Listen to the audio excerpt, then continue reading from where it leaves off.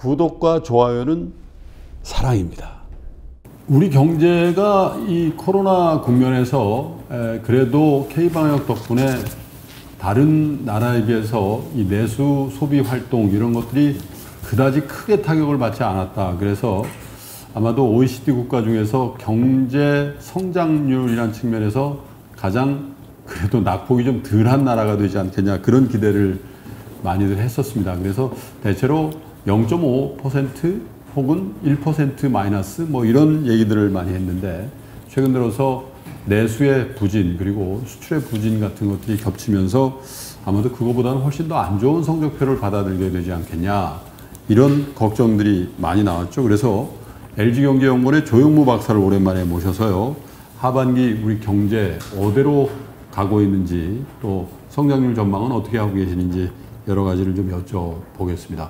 경제를 알아야 주식도 조금 더 쉽게 이해가 되지 않겠습니까? 자, 조영모 박사 오셨습니다. 어서 오세요. 네, 안녕하세요. 오랜만에 뵙겠습니다. 네, 오랜만입니다. 건강하시죠? 네.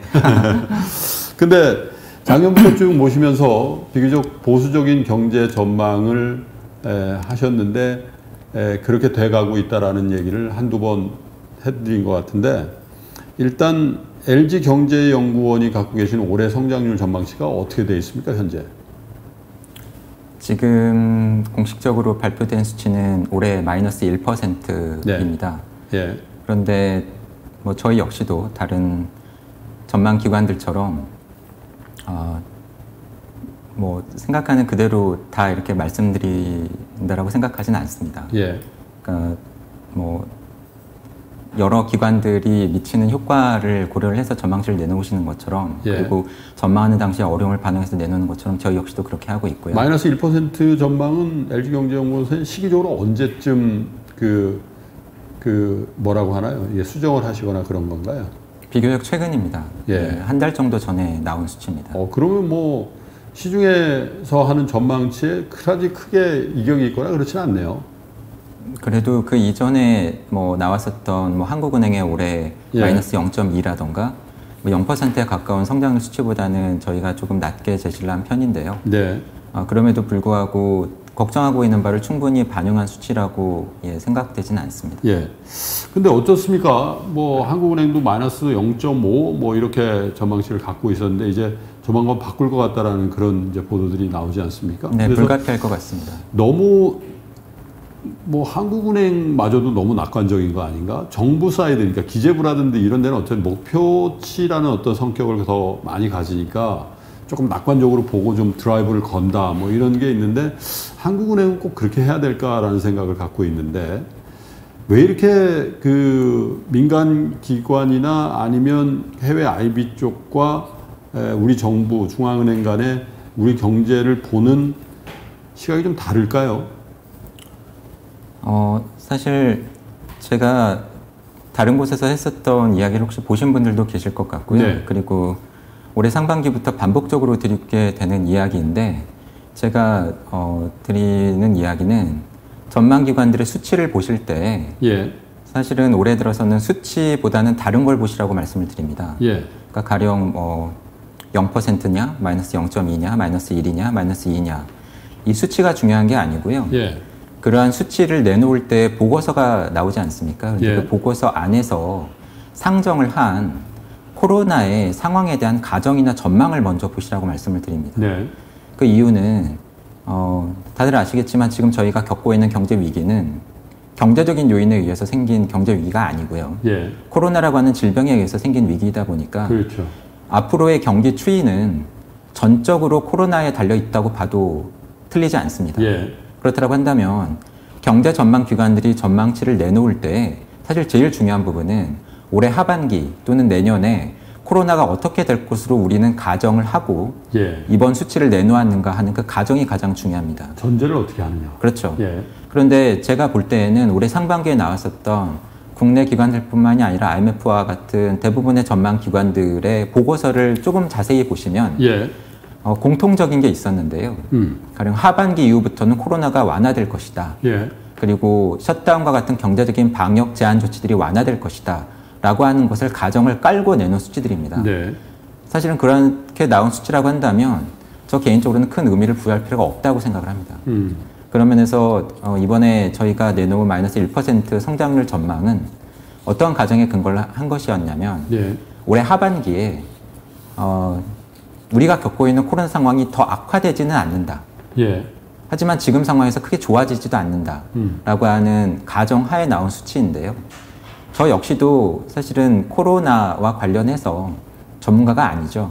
그래서 제 기억에 아마 제가 여기 신과 함께 마지막으로 출연했던 게 4월 초로 기억을 합니다. 그럴, 그런 것 같아요. 예, 그때 이준우 진행자 분께 제가 건의를 드렸던 것이 예. 저 같은 경제를 하는 사람들의 이야기를 듣지 마시고 예. 이럴 때는 차라리 코로나의 진짜 전문가에 해당되는 음. 감염, 방역, 백신 전문가분을 이 방송에 모셔서 말씀을 들으시는 게 좋겠다라고 건의를 드렸었고요. 아마 그 직후에 예, 실제로 그렇게 방송을 하신 것으로 모셔서. 모셔서 몇 번 들었거든요. 네, 참혹합니다. 네네, 예, 설탕문이라는 분도 있었고요. 네네, 봤습니다. 네. 그리고 뭐 이 과학 전문 기자를 모셨더니 어휴 그냥 공포가 막 생길 정도예요. 그런데 어, 사실 이럴 때에는 예. 저는 솔직해질 필요가 있다고 생각을 하고요. 예. 이러한 이야기 역시도 사실은 4월 초 방송에서 말씀을 드렸던 건데 예. 경제를 하는 사람들이 잘 분석을 할 수 있는 시기가 있고 예. 그렇지 않은 시기가 있죠. 예. 그렇다고 한다면은 저 같은 사람들은 이럴 때는 진짜 전문가분들의 이야기에 귀를 기울이고 예. 그리고 그분들 중에서도 믿을 수 있는 소스, 믿을 수 있는 분들의 의견을 청취를 한 다음에 예. 가장 믿을 수 있는 정보에 기반을 해서 음. 코로나 상황에 대한 전망이나 가정을 세우고 거기에 대해서 수치를 내놓아야 되겠죠. 예. 근데 앞서 말씀드린 것처럼 올해 상반기에 나왔던 많은 기관들의 전망치는 제가 보기에는 전망이라기보다는 희망에 가까운 모습들이 좀 많이 보였던 것 같고요. 예. 어, 4월 방송에서도 말씀을 드렸지만 코로나 상황을 낙관하기 어렵다라고 그때도 말씀을 드렸던 이유가 예. 뭐 저는 잘 모르죠. 그쪽 전문가는 아니지만 가령 그 당시만 하더라도 예. 이미 여러 가지 이야기들이 있었던 겁니다. 음. 가령 4월 초에 제가 기억나는 발언은 오명돈 우리나라 중앙 임상위원회 위원장 예. 한마디로 우리나라에서 코로나에 걸리셨던 환자분들을 직접 치료하시고 예. 옆에서 병상에서 지켜보셨던 의사분들의 커미티에서 나온 이야기죠. 예. 거기에서 그때부터 뭐라고 하셨냐면 이 상황이 진정되려면 국민의 60%가 항체를 가져야 된다. 어우. 그런데 60%가 항체를 가지는 방법은 사실 둘밖에 없죠. 예. 걸렸, 걸렸다가 낫거나 백신을 맞고. 아니면 백신을 맞거나. 예. 그런데 그 백신과 관련을 해서 어, 12개월에서 18개월 파우치 박사가 얘기한 게 그때부터 일종의 가이드라인처럼 미국에서 얘기가 되고 있었는데 예. 사실은 그쪽 분야 전문가분들 특히 미국에 계신 전문가분들의 자료를 보면 18개월이라고 하는 파우치 박사의 전망도 낙관적인 전망이었다라는 어, 이야기를 그때부터 예. 했었고요. 그리고 사실 그때부터 이미 정은경 질병관리본부장은 가을에 우리나라에서 다시 유- 재유행할 수 있다라고 하는 이야기를 하고 있었고요. 예. 그리고 뭐 저도 잘은 모르지만 전망을 해야 되기 때문에 어, 질병과 관련된 경제 얘기 케이스들을 다시 뒤져본 거죠. 뭐 예전에 메르스 때는 저도 보고서도 쓰고 했었기 때문에 예.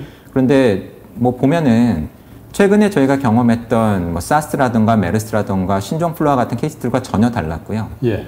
가장 유사하다고 볼 수 있는 것이 100년도 더 전에 1918년부터 1919년 사이에 있었던 스페인 독감이었는데 스페인 독감 당시의 자료를 찾아보면 어 10개월 남짓한 기간 동안에 세 번의 사이클이 왔었고 첫 번째 사이클과 두 번째 사이클 사이에는 4 내지 5개월의 시차가 있었고 예. 사람이 가장 많이 죽었던 것은 첫 번째가 아니라 두 번째 사이클이었다. 그러한 자료들이 확인이 된다는 거죠. 그렇기 때문에 어, 4월 방송에서도 상황을 낙관하기가 어렵다. 그리고 재유행 가능성이 있다. 음. 그리고 이럴 때일수록 저처럼 경제 전문가분들의 이야기보다도 질병이나 감염 백신 전문가분들 중에서도 진짜 믿을 만한 분들의 이야기를 들으셔야 된다라고 말씀을 드렸던 겁니다. 많이 모셨어요. 모셨는데 하, 경제 혹은 이 금융 시장에서만 이제 생활하고 또 그런 환경에서만 이제 컨텐츠를 보셨 가지고 좀 충격을 받으시더라고. 그래서 어쨌든 그 취지는 알겠고요. 그래서 어, 박사님께 만약에 지금도 우리가 좀 위기 국면이라고 하니까 절체절명이라는 표현까지 하는 거 네. 보니까 그래서 정말 그러면 안 되지만 심각해진 거예요. 네. 그래서 3단계 사회적 거리두기 같은 lockdown이라고 하죠. 네. 뭐 그런 걸 시행한 거죠. 우리나라가. 초창기 유럽처럼 그러면 어떻게 될까가 이제 궁금해진단 말이에요. 최악의 국면, 그게 뭐 최악인지 모르겠으나 어쨌든 경제를 유럽 여러 나라들이 봉쇄했었죠. 뭐 네. 독일, 이탈리아 뭐 할 거 없이 그죠? 네. 어떻게 됐나요? 그러고 나서 경제가. 아, 좋은 질문이신데요. 예. 사실은 어제도 전화를 좀 많이 받았었고요. 예. 왜냐하면 우리나라에서도 이제 3단계 시행 가능성에 대해서 구체적으로 이야기들이 나오고 있기 때문에. 예. 근데 저 개인적으로는 큰 의미가 없을 수도 있다고 생각을 합니다. 예.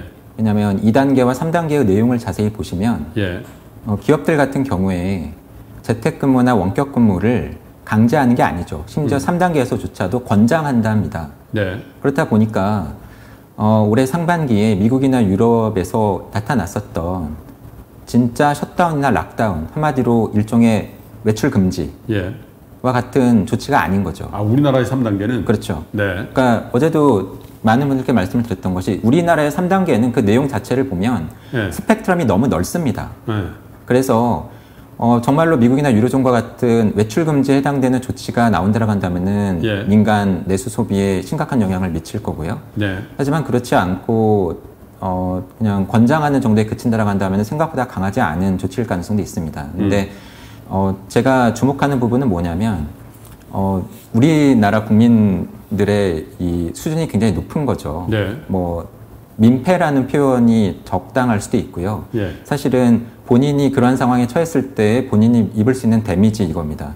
가령 내가 만약에 확진자가 되었을 때 내가 다니는 직장 전체가 폐쇄될 수도 있다. 그게 중요하더라고요. 예. 그리고 내가 사는 아파트 내지는 단지 동네에서 우리 집이 확진자라고 하는 것이 알려지거나 그러니까요. 어, 우리 집에 있는 우리 아이들이 네. 확진자 부모 때문에 친구들로부터 따돌림을 당하거나 네. 이러한 것이 네. 사실은 실질적인 공포라고 저는 생각을 합니다. 맞습니다. 뭐 우리나라 의료 시스템 같은 경우에는 미국이나 유로존처럼 의료 시스템이 감당할 수 있는 capacity를 넘어서 예. 어, 입원을 못해서 돌아가시는 분들이 아직까지 나타나고 있지는 않으니까요. 맞죠. 근데 만약에 이러한 공포라고 하는 것이 확산된다라고 한다면 굳이 정부가 3단계 조치를 내놓지 않더라도 저는 이미 지난 주말부터 그게 현실화되었다라고 생각을 하는데요.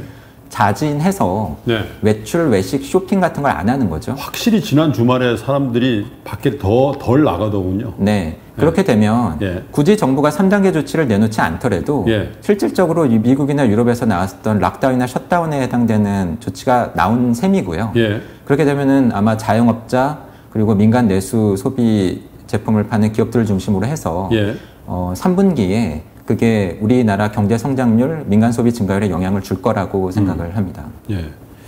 그래서 이제 그 3단계 수도권에서 2주 동안 해도 어쨌든 KB증권 같은 데는 뭐 0.2%포인트에서 0.4%포인트 정도 경제 성장률을 깎아 먹을 거다 뭐 이런 보고서를 낸 걸 봤어요. 네. 이게 사실은 2단계, 3단계 별 차이가 없다라고 말씀하셨지만은 사실상 우리 국민들의 자제력이라고 할까요? 어떻게 보면 뭐 아유 내가 이렇게 했다가 큰일 나지 이런 게 미국 사람들이나 유럽 사람에서 훨씬 강한 것 같아요. 네. 그래서 사실은 이번에 뭐 2, 300명대로 딱 넘어섰을 때 저도 그렇고 저도 출근할 때 그러거든요. 식구들한테 야 어디 가급적 나가지 마. 네. 이렇게 하고 나오잖아요. 네. 저도 그래서 약속 같은 거 다 취소거든요. 지난 네, 네. 주말에도. 그러시죠. 네. 그런데 이렇게 안전을 위해서 한다는 거는 반대로 얘기하면 경제는 치명적이잖아요. 움직이질 않으니까. 그렇죠. 그래서 4월 방송 때에도 말씀을 드렸던 것이 예. 앞으로 우리나라뿐만이 아니라 많은 국가들의 정책 당국이 예. 굉장히 어려운 딜레마 상황에 처할 것 같다고 그때도 말씀을 드렸습니다. 네. 바로 말씀하신 그 딜레마인데요. 예. 코로나의 확산을 막기 위해서 경제적인 활동들을 제한하면 할수록 예. 확산은 막을 수 있겠지만 경제가 죽죠. 예. 근데 경제가 죽는 것 때문에 경제적인 제한 조치들을 풀게 되면 예. 사람들이 죽죠. 예. 그래서 이 사이에서 정책 당국이 어떤 선택을 할 것인가. 예. 사실은 그때도 미국은 어느 정도 예상이 가능했던 거죠. 왜냐하면 대선을 앞두고 있고 자신의 가장 큰 치적을 경제라고 생각하는 트럼프는 정부가 나서서 어떻게든 먼저 이러한 제한 조치들을 완화하려고 할 테니까 사람은 죽어도 경제를 죽일 수는 없다. 뭐 사실 그게 현실화된 셈이죠. 네. 그렇기 때문에 사실 미국은 경제적인 제한 조치가 예. 코로나의 심각성에 비해서 비교적 일찍 해제가 되었지만 그것 때문에 많은 분들이 돌아가셨고 그리고 지금도 재확산 가능성이 상당히 높은 것 같고요. 네. 그리고 그러한 딜레마 상황이 결국은 우리나라에도 지금 돌아온 셈이라고 볼 수가 있겠습니다. 음. 어, 그래서 저 개인적으로는, 음, 상반기에 가장 주목해서 봤었던 경제 전망이 하나 있는데요. 어, 뭐 심지어 IMF조차도 낙관적인 전망을 내놓을 때 OECD가 6월에 전망을 내놓으면서 예. 그 이전 전망과 상당히 다른 전망을 내놓았습니다. 네. 그래서 저 개인적으로는 어, 관심이 있으신 분들은 OECD 홈페이지에 가시면 쉽게 보실 수 있기 때문에 네. 어, 그 전망을 한번 꼭 보셨으면 좋겠는데요. OECD 6월 전망의 특징이라고 한다면 앞서 강조했었던 코로나에 대한 가정, 코로나가 두 번 발생할 수 있다라고 하는 것을 메인 시나리오에 넣은 겁니다. 네. 그래서 그 시나리오의 이름을 double hit 시나리오로 했고요. 예. 그리고 한 번만 겪고 끝날 가능성을 single hit 시나리오로 해서 음. 그 이전에 나왔던 다른 경제 전망들이 코로나가 완화되고 그것이 메인 네. 시나리오인데 코로나가 악화되면 이럴 수 있습니다가 아니고 예. 메인 시나리오 안에 single hit와 동등하게 double hit 시나리오를 넣은 전망이 그때 처음 나왔습니다. 예. 근데 그 전망 수치가 상당히 저는 의미심장하다고 보는데요. double hit가 발생하는 상황에서 세계 경제는 올해 마이너스 7% 중반의 역성장을 기록을 할 것이다. 어우. 그리고 single hit가 얼마였는데요? single hit가 마이너스 5%, 그리고 2%포인트 더 내려간다? 아, single hit가 마이너스 6이었으니까 예, 1.5%포인트 정도 네. 더 내려가는 예. 셈이고요. 그리고 그 당시에 나왔던 수치가 우리나라가 어, double hit일 때 마이너스 2.5였는데 네. 최근에 이것을 다소 수정을 하면서 마이너스 2, 2%로 조금 끌어올리긴 했습니다. 음. 그런데 눈길을 끄는 것이 우리나라가 마이너스 2%대일 때 중국이 마이너스 3%대, 음. 그리고 마이너, 어, 일본이 마이너스 7%대, 네. 미국이 마이너스 8%, 그리고 유로존이 마이너스 11%대의 수치를 내놓았었죠. double hit를 하면? WT일 때. 예. 그래서 사실 지금 보시면 어, 이 수치가 지- 왜 눈길을 끌었냐면은 사실은 미국 같은 경우에 성장률 수치를 예. 2분기에 발표하는데 다른 나라와 다르지 않습니까? 전분기 그렇죠. 대비 연율이라고 내놓죠. 맞습니다. 근데 2분기의 상황이 어, 전년 동기비 우리나라와 같은 기준으로 환산을 해보면 마이너스 9%대였어요. 음, 얼추 맞네요. 예, 얼추 맞는 거죠. 그러니까 어, 이러한 상황을 메인 시나리오에 넣은 것도 눈길을 끌지만 사실은 2분기에 미국이 겪을 상황을 어느 정도 거의 정확하게 맞춘 셈입니다. 예. 그리고 어, 그러한 상황에 입각했었을 때 눈길을 끄는 것이 앞서 말씀드린 것처럼 우리나라 중국의 수치가 그나마 상당히 양호한 편인데 예. 어, 4월 방송 때에도 말씀을 드렸던 것처럼 이것은 다른 이유가 아니고요. 전적으로 중국은 발병지로 지목을 받고 있지만 가장 먼저 거기서 빠져나왔고 지금도 전체주의 국가의 특성일 수 있겠지만 그것을 효과적으로 컨트롤하고 있는 반면에 예. 뭐 일본, 미국, 유로존과 같은 다른 선진 국가들은 그렇지 못하다.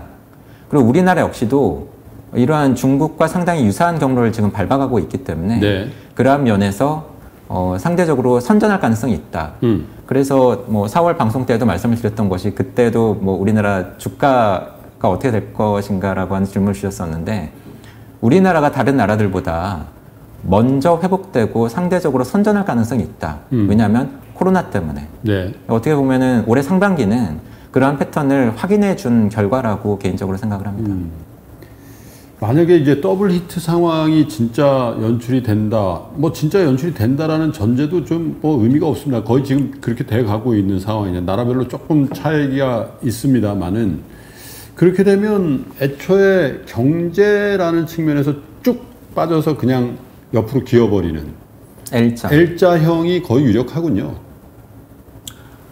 뭐 그런 표현들을 많이들 쓰시죠. 예. 뭐 이제는 더 이상 얘기 안 하시지만 사실은 4월 때만 해도 V자 얘기 많이 하셨었고요. 네. 나이키자 얘기도 있었고 L자도 있었고 요즘은 K자도 얘기하더군요. 네, K자도 K자. 네, 그렇습니다. 그리고 W자도 있고요. 예. 근데 저 개인적으로는 W자 가능성이 가장 높다고 말씀을 드려왔는데요. 네. 이유는 상반기는 어쨌든 뭐 2분기까지도 미국이나 유로존이 어려움을 겪는데 예. 대선을 앞둔 트럼프가 어떻게든 경제를 살리려고 노력을 할 것이고 음. 그러한 조치들이 3분기에 나타날 가능성이 있고 그리고 음, 어려움을 2분기에 겪었던 미국이나 유로존에서 어쨌든 간에 방역 제한 조치들을 계속해서 끌고 갈 수는 없기 때문에 네. 그리고 전분기 효과 같은 베이스 이펙트도 있기 때문에 어, 그렇기 때문에 3분기는 다소나마 좀 나아질 가능성이 있다. 예. 하지만 앞서 말씀드린 것처럼 만약에 코로나가 끝나지 않는다라고 한다면 사실은 다시 가라앉을 가능성이 있는 거죠. 그러한 예. 면에서는 분기별 성장률로 따진다라고 한다면 저 개인적으로는 올해 W자가 상당히 유력하다고 생각을 하고 있고요. 음. 하지만 더 중, 3분기가 W자의 그 이렇게 다시 반등하는 그 국면이라는 얘기신가요? 아, 뭐 4분기는 그럴 가능성이 있지 않을까 생각을 합니다. 예. 아, 그런데 중요한 것은 W자라고 할 때 두 번째 trough 바닥이 예, 예. 첫 번째 trough보다 얼마만큼 낮을까 높을까 하는 부분이 될 텐데 예. 그런데 또 다르게 생각을 해보면은 그러한 구분이 또 크게 의미가 없을 수도 있습니다. 예. 왜냐하면 사실 가장 관심이 많으신 것은 그런 거 아니시겠습니까? 우리가 코로나 때문에 이렇게 고생을 하고 있는데 예. 우리는 언제쯤 코로나 이전 상황으로 돌아갈 수 있을까? 예. 그런데 주식을 하시는 분들은 아마 아실 텐데요. 이런 거죠. 주가가 10% 빠지고 나서 바로 그 다음에 10% 상승을 했다. 그러면 원상 회복이 되느냐? 아니죠. 그러니까 가령 이런 거죠. 100이었던 상황에서 10% 빠지면 90이죠. 90에서 10% 오른 99죠. 99죠. 여전히 네. 100은 안 되는 거죠. 네. 그런데 이게 1의 차이가 작은 것 같지만 이게 만약에 성장률, GDP의 1% 차이라고 한다면 굉장히 큰 거죠. 네. 그런 면에서 보면은 10% 마이너스 10% 빠졌다가 그 다음에 플러스 10% 되면은 V자 반등이고 원상 회복을 한 것이냐? 음. 아닐 수 있다고 하는 겁니다. 네. 그래서 어 사실은 이때 봐야 되는 것이 GDP의 레벨, 경제 활동의 절대 수준이고요. 예. 어 그래서 그러한 관점에서 본다라고 할 때 제가 올해 6월에 나왔던 OECD 전망에서 또 다시 또 다른 측면에서 눈길을 끌었던 것이 뭐냐면 네. double hit 시나리오뿐만이 아니라 single hit 코로나가 한 번만 발생하는 상황 하에서조차도 음. OECD는 내년 말까지 코로나 이전 수준의 경기를 세계가 회복하지 못할 것이다라고 하는 전망을 내놓았다라고 하는 겁니다. 네. 그런 면에서 보면은 성장률 자체보다도 예. 사실은 GDP의 절대 레벨과 같은 경기 수준을 음. 참고하시는 것이 경기 흐름 판단에 있어서는 더 정확할 수 있다고 생각을 합니다. 그런 전망들이 나오기 때문에 각국 정부가 경기 대응이라는 걸 하고 있는 거 아니에요? 네. 그래서 우리도 아, 벌써 다 써버렸더라고요. 재난지원금도 주고. 네. 그래서 이제 일각에서 다시 뭐, 아니, 일각이 아니라 광범위하게 2차 재난지원금 얘기도 에, 지금 나오고 있는데, 물론 이제 정부에서는 이제 아직은 그런 계획 없다 이렇게 얘기를 하- 하고 있습니다만은 우리 정부도 만약에 그런 상황이 될 것 같으면 뭔가 경기 대응을 더 해야 될 것 같다는 생각이 드는데요. 아, 소장님하고 방송을 하다 보니까 사실은 떠오르는 게 하나 있는데 예. 아마 작년 말 하반기쯤 방송이었던 걸로 생각을 예. 하고요. 어, 역시 그때도 경기 주제로 말씀을 드리면서 정부 대응과 관련을 해서 질문을 주셔서 예. 제가 정부 재정 지출은 최대한 아낄 필요가 있을 것 같다라고 말씀을 그러시죠. 드렸더니 예. 보통 민간 기관, 민간 경제 연구소에 있는 사람들은 예.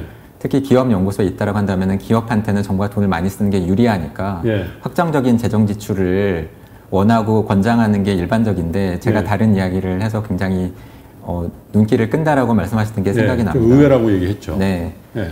어, 사실 지난해 말까지 질문을 받으면 저는 정부 재정 지출은 최대한 신중하게 할 필요가 있다라고 계속해서 말씀을 드려왔는데요. 네. 코로나가 터지고 나서부터는 다르게 말씀을 계속 드려왔습니다. 예. 지금은 정부가 돈을 쓸 수밖에 없다. 음. 원하든 원치 않든. 네. 우리만 그런 것이 아니라 다른 나라들도 다 그렇게 하고 있다. 예. 왜냐하면 자국 기업, 자국 산업이 가만히 놔두면 망하고 망가질 것이기 때문에 음. 그것을 방치해서는 안 되고 방치할 수도 없고 그렇게 하지 않는 것이 지금 글로벌 트렌드다. 네. 근데 중요한 것은 돈을 얼마를 쓰는가가 아니라 사실은 언제 어떻게 쓰는가인 것 같습니다. 음. 사실은 악마는 디테일에 있다라고 하지만 네. 더더욱 그러한 부분을 절감을 하고 있는데요. 가령 이런 거죠. 뭐 올해 1차 추경할 때 질문을 받았을 때도 말씀을 드렸던 것이 추경 또 하실 것 같습니다. 예. 아마 두 번, 세 번 하실 겁니다. 라고 음. 말씀을 드렸고 세 번 했죠. 네. 그리고 재난지원금 이슈가 나왔을 때에도 질문을 그때도 많이 받았었는데 재난지원금 한 번 주고 나면 또 주실 겁니다. 라고 말씀을 드려왔거든요. 예. 어, 사실은 그렇게 되지 않기를 간절히 바라지만 코로나의 상황을 앞서 말씀드린 전문가분들의 이야기를 저희가 감안을 한다라고 한다면 네. 그러한 상황을 상당히 높게 예상할 수밖에 없었고요. 예. 그러한 상황에서 정부가 지금 돈을 많이 쓰고 있는데 개인적으로 걱정스러운 것은 뭐냐면 어, 경기가 안 좋기 때문에 세금은 덜 거치고 있죠. 예. 그런데 정부는 돈을 훨씬 더 예전보다 많이 쓰고 있습니다. 나머지 비는 부분은 모두 다 정부 적자고요. 그렇죠. 어, 빌려야죠. 발행해서. 찍어내서 네. 빌리든 뭐 다르게 빌리든. 어, 그런데 제가 보기에는 저희 세대가 그렇다고 해서 지금 세금을 그 돈을 갖기 위해서 더 많이 내실 의향은 별로 없는 것 같아요. 어느 그럼- 때나 그렇죠. 예, 그 인기가 없는 정책이니까. 예, 정치적으로. 예. 그렇다라고 한다면 어, 자녀가 있으신 분들은 저는 그 부분을 반드시 생각하셔야 된다고 생각을 하는데 저희는 지금 저희가 살기 위해서 돈을 쓰고 있지만 예. 저희의 고통을 완화하기 위해서 쓰고 있는 이 돈이 아주 소중한 국가의 돈이고 예. 어, 세금으로 거두지 않는다라고 하면 빌려야 되는데 영원히 안 갚을 수는 없기 때문에 저희 자녀 세대가 언젠가는 굉장히 고통스럽게 갚아야 되고 예. 그 돈을 갚아야 되는 세대는 지금보다 인구가 수가 훨씬 더 적을 것이기 때문에 네. 그 부담이 훨씬 더 가중될 수 있다라고 하는 부분이 네. 거죠. 그런 면에서 보면 재정 지출은 불가피합니다. 지금도 그렇고요. 하지만 쓴다라고 한다면 어떻게 하면 효과를 극대화시킬 것인가? 음. 재정 지출의 효율성을 고민하는 것이 1순위가 돼야 됩니다. 예. 그리고 그렇게 쓰는 돈이 단순히 그냥 올해 경제 성장 수치를 좋게 만드는 데 쓰이는 것이 아니라 예. 코로나가 끝나지 않는다라고 하면 경제가 어려울 수밖에 없죠. 그게 아니고 코로나가 진정되었을 때 다른 나라들보다도 우리나라가 보다 더 의미 있게 경기가 반등할 수 있도록 하려면 예. 우리가 지금 무슨 준비를 해야 되나? 어디에 돈을 쓰는 것이 맞는가? 음. 4차 산업혁명 디- digital transformation이 네. 트렌드라고 한다면 예. 거기에 필요한 돈을 우리가 지금 어떻게 써야 되는가 그러한 부분을 고민하고 그쪽에 보다 더 많은 재정 지출의 비중을 높이는 것이 개인적으로는 맞다라고 생각을 합니다. 그러니까 박사님이나 제 통장에 몇십만 원씩 꽂아주는 거 하지 말고 잘 써라 이런 말씀이시죠? 네, 개인적으로는 그렇게 생각을 합니다. 달콤하긴 하다던데 그 유혹이 그래서 주는 사람이나 받는 사람이나 굉장한 유혹이래요. 사실 올해 상반기에 한번 지급을 했지 않습니까? 네. 그리고 어, 민간 소비가 위축되는데 어느 정도 효과를. 주었다라고 네. 이야기가 나오니까요. 네. 하지만 음, 한 번 했으니까 또 하기는 이제 쉬워졌죠. 음. 하지만 그게 바람직하지는 않은 것 같다고 원래 처음이 말씀을 드렸는데? 예. 그래도 저희가 한 가지 얻을 수 있다라고 한다면 예. 그렇게 주었을 때 어떠한 효과가 있는가가 이제 데이터가 생긴 셈입니다. 네. 그러한 부분에 대해서 저희가 좀 더 분석을 하고 음. 어떻게 하면 보다 더 의미 있게 네. 효율성 있게 쓸 것인가 하는 부분에 있어서 네. 올해 상반기에 지급했던 재난지원금의 효과에 대해서 보다 더 면밀하게 분석하고 개선할 점은 개선해야 된다라고 생각을 음. 합니다. 아까 그, 그 우리 다음 세대를 위한 에, 그런 재정 집행 뭐 안 쓰는 게 제, 최고 자산을 물려주지 부채를 물려주는 건 안 좋은 건 네. 확실한데 안쓸 수는 없다는 전제를 하셨으니까 네. 다만 이제 잘 써서 우리 다음 세대들이 아이고 우리 아빠 세대 어쨌든 이렇게 현명해서 가지고 여기서 나온 이득으로 빚 갚네 이 정도까지만 해도 정말 대단한 건데 근데 또 현실의 세계를 가보면 야 이게 소상공인 자영업 하는 하시는 분들 뭐 지금 조금 낮은다 그러더니 그냥 또 폭삭이란 말이에요 지금 식당이 말이죠 오늘 한- 그냥 뭐 두세 테이블 정도밖에 안 차고 막 그런단 말이에요 근데 사실 한 달 전만 해도 뭐 그냥 장도 좋고 뭐 그래서 여의도만 해도 뭐 흥청망청이라는 표현은 좀 그렇고 어쨌든 두석서 했거든요 근데 분위기가 싸해졌단 말이에요 여기는 그래도 좀 지원해야 되는 거 아니에요? 효율성을 높이려면 사실은 focusing이 중요하다고 생각을 합니다. 네. 그래서 수혜 대상을 너무 넓히거나 예. 그리고 어, 너무 광범위한 지역 계층에 주는 것보다는 예. 정말 도움이 필요한 쪽에 집중하는 것이 효율성을 높일 수 있다라고 생각을 하고요. 예. 그리고 직접적으로 주는 방식도 있지만 사실은 정부에서 지금 기업이라던가 자영업자들한테 이루어지고 있는 지원의 대부분은 네. 사실은 대출입니다. 음. 그런데 어, 정부 3차 추경까지 발표된 자료만 보더라도 어려움을 겪고 있는 기업이나 자영업자 섹터에 지원하겠다라고 하는 지원 규모가 135조 원이 넘습니다. 예. 그런데 그러한 돈들이 어, 많은 부분이 대출로 나간다라고 한다면 사실은 저희는 또 다른 고민을 해야 됩니다. 음. 저희는 지금 한창 코로나에 대해서 얘기를 하고 있지만 코로나 이후는 어떻게 될 것인가? 음. 코로나가 끝나도 네. 지금 이렇게 살아남기 위해서 빌린 돈 부채는 그대로 남을 겁니다. 그렇죠. 빚이 어디 가지는 않으니까요. 네. 어, 그렇다라고 한다면은 음, 저 개인적으로 요즘에 걱정하고 있는 것은 어, 대차 대조표 불황입니다. 예. 어, 일본의 사례와는 겪었던. 네, 일본의 사례와는 조금 다르죠. 일본 같은 경우에는 대차 대조표 중에서 차변 쪽에 해당하는 자산, 예. 대출을 받아서 샀던 부동산 가격이 폭락하면서 자산 쪽이 급격히 쪼그라들면서 대차 대조표가 악화된 반면에 네. 지금 우리나라의 자영업자나 기업들은 어려움을 겪으면서 정부든 금융기관이든 이렇게 돈을 빌리면서 부채 쪽이 갑자기 아. 늘어나면서 늘어서. 네, 대차 대조표가 악화되고 있는 겁니다. 네. 원인은 다르지만 결과는 비슷할 겁니다. 예. 빚을 갚아야 되는 시기가 되면 결국은 기업 같은 경우에는 투자, 가게 같은 경우에는 소비를 줄일 것이고요. 그렇죠. 그렇게 되면 정말로 앞서 말씀드린 것처럼 코로나가 끝나고 예. 경기가 의미 있게 회복돼야 되는 시점에 음. 기업의 투자가 늘지 않고 민간 소비가 위축되면서 예. 경기가 의미 있게 회복되지 않는 상황이 이상보다 굉장히 길게 갈 가능성이 있습니다. 그러한 면에서 정부가 만약에 돈을 써야 되고 그 돈을 의미 있게 쓰고 싶다라고 한다면 정말 도움이 절실하시고 필요하신 분들을 스크리닝 해낸 다음에 음. 그분들한테 저 개인적으로는 빌려주는 것이 아니라 그냥 주셨으면 좋겠습니다. 음. 그리고 몇십만 원이 아니라 미국처럼 그냥 몇백만 원을 들이셨으면 하는 생각도 합니다. 네. 그렇게 해야 방금 전에 말씀을 드린 코로나가 끝난 이후에 갑자기 폭증한 부채 때문에 가게가 돈을 쓰지 못하고 기업이 투자나 고용을 늘리지 못하면서 우리 경제가 장기 저성장 침체에 빠지는 상황을 피할 수 있을 거라고 생각을 합니다. 안 좋은 건 정부 정도로만 막아보자. 어쩔 수 없다면. 아, 사실 그 부분은 또 다른 이슈인데요. 네. 앞서 추경이 반복될 것 같다고 말씀을 드리면서 사실은 드렸던 이야기들인데 예. 어, 저 개인적으로는 어, 우리나라의 GDP 대비 국가 채무 비율을 정말 이제 조심해서 봐야 될 때라고 생각을 합니다. 네. 지난해 말에 GDP 대비 37%였던 국가 채무 비율이 3차 추경까지만 바- 감안을 하더라도 이제 43%대로 올라왔고요. 그러니까요. 분명히 올해 안에 45%대까지 갈 겁니다. 네. 내년에 코로나가 끝나지 않고 예. 정부가 세금이 잘안 거치는 상황에서 예. 지금처럼 계속해서 돈을 빌려서 돈을 쓴다라고 한다면 조만간 50%대에 육박할 겁니다. 그래서 제가 분석을 해본 적이 있는데요. 어, 우리나라는 사실은 미국이나 유로존, 일본처럼 기축통화나 국제통화를 가진 나라가 아니죠. 그렇죠. 이러한 나라들 중에서 GDP 대비 국가 부채 비율이 40에서 50%대인 국가들의 국가 신용 등급이 어느 정도인가를 분석을 해본 겁니다.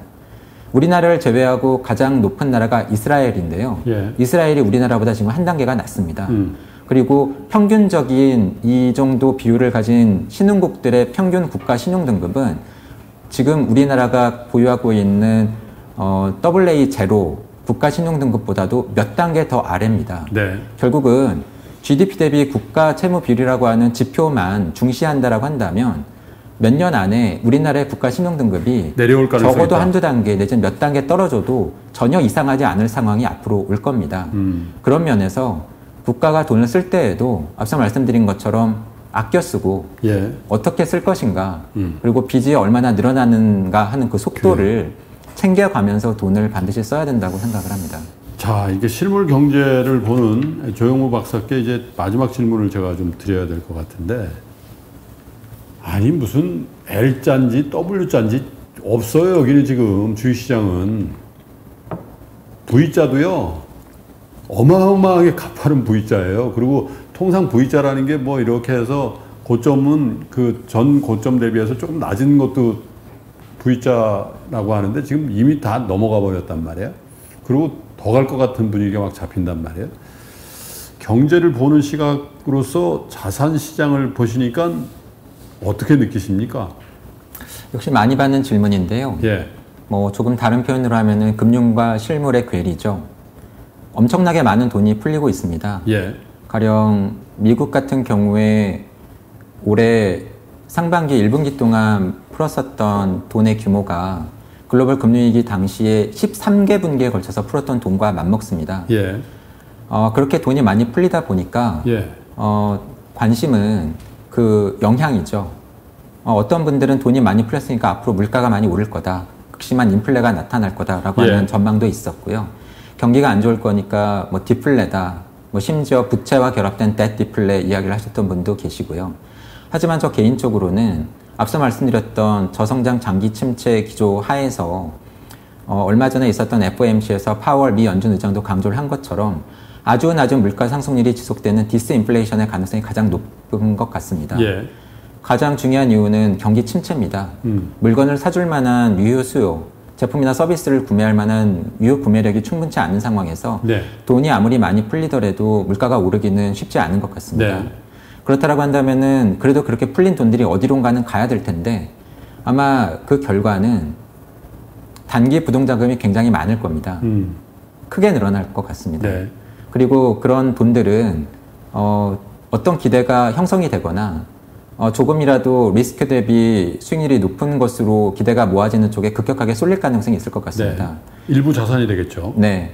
어, 그러한 면에서 저 개인적으로는 소비자 물가 상승률로 대변되는 전반적인 경제 인플레이션이 높아질 가능성은 높지 않지만 뭐 주택이라던가 특정 섹터 기업의 주가라던가 금리라던가 달러와 같은 특정 자산의 가격이 급격하게 오르는 자산 인플레 가능성은 상당히 높아질 것 같습니다. 지금도 진행되고 있다고 보죠. 예, 이미 진행되고 있는 예. 것 같고요. 하지만 저희가 중시해야 되는 것은 그게 평평하지 않을 겁니다. 음. 모든 집, 모든 주택 가격이 오를 것 같지는 않고요. 그리고 모든 섹터, 모든 기업의 주식이 오를 것 같지도 않습니다. 네. 그런 면에서 보면은 저 개인적으로는 앞서 말씀드린 것처럼 기대가 가장 중요할 것 같습니다. 네. 앞으로 어느 업종, 어느 섹터가 유망할 것이라고 내 주변 사람들이 생각을 하는가. 음. 그- 그리고 내 주변 사람들이 어느 동네의 집값을 자꾸 이야기를 하고 관심을 가지는가. 음. 이러한 부분들이 사실은 자산 가격으로 어, 실현돼서 반영될 가능성이 점점 더 높아지고 있는 것 같습니다. 조영우 박사님께서 증권회사에서 이렇게 포트폴리오를 관리하시는 분은 제가 바로 이렇게 질문 드리거든요. 그래서 어떻게 사, 사- 뭘 사야 됩니까? 이렇게 하는데 이코노미스트 경제연구원에서 거시경제를 보는 분이니까 차마 그렇게는 말씀 못 드립니다만은 쭉 맥락을 제가 옆에서 이렇게 느껴보니까 한마디로 정리하면 이런 거네요. 자산 가격 올라갑니다. 예. 그런데 차별적으로 올라가는데 그게 지금도 진행되고 있으니까 지금 차별적으로 올라가는 주식들 한번 보십시오. 또 부동산을 보십시오. 많은 사람의 입에 회자되는 비싼 거 아니야? 너무 많이 오른 거 아니야? 야, 저 아파트 저렇게 비싸도 돼? 그런 류의 가격 상승이 사실은 자산 가격 인플레이션기에 이유 있는 상승이라고 말씀하시는 것 같습니다. 저는 말씀하신 것처럼 뭐 금융시장이나 증권회사에 있는 사람이 아니다 보니까 음. 주목하는 본 사실은 다른 포인트입니다. 네. 어, 앞서 말씀드린 상황이 전개가 되게 되면 예. 아마 금융시장의 변동성이 굉장히 커질 겁니다. 네. 그리고 특정 자산의 가격이 급격하게 올랐다가 돈이 빠지면서 급격하게 하락하게 되면 예. 실물 경제에 악영향을 줄 가능성이 있습니다. 음. 그러한 부분에 대해서 정책 당국이나 투자자분들이 충분히 관심을 가지셔야 된다라고 생각을 합니다. 네. 올라가긴 가되 그냥 끝도 없이 올라가는 건 아니니까 거칠게 하락할 수 있다라는 그 가능성도 미리 염두에 두시고 당국도 그리고 개인 투자자 여러분들도 준비는 하시고 계셔야 된다는 그런 말씀입니다.